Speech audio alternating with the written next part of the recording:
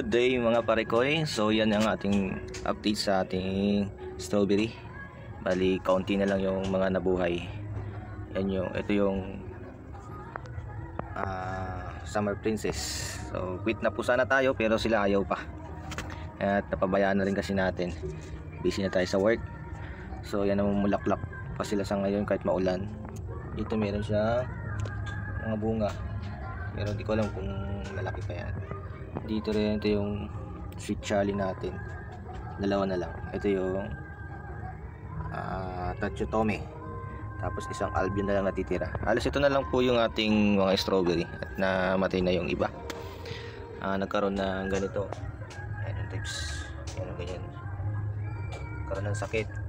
Pero ito nagrunners na sila mga guys. So sana dumami. Makabawi hindi ko na sila nalagaan. Hindi na ako nagdidelay kasi maulan. Yan pala yung ating mga bagong grapes. Brazilian hybrid. Yung isa namatay. Black dye fish pan. Berdeng berde yung ng tulo. Isa na yung ating grapes guys oh, yung medyo malaki-laki na siya. Maliit ito. Mas maganda pala siya pag talagang nasa arawan. Medyo mataba-taba na rin yung trunks niya Ayan, so far ito yung pinaka successful na grapes. Sana magtuloy-tuloy. Tapos ayan din yung ating dalawa pang red cardinal. Bali yung mga damo-damo uh, tinatabas natin para maging puto pa ayan. Mas meron dyan sa luyot. Ito yung ating sili so yan yung guys yung mga halaman natin berding berde ngayon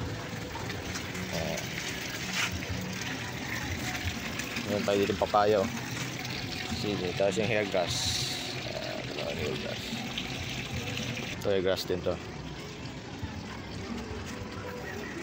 Ayan, guys, oh. Building bed eh. Lumalabas na sila, yung mga parrot feather.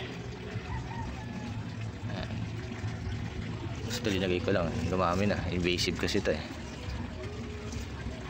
Take over na siya.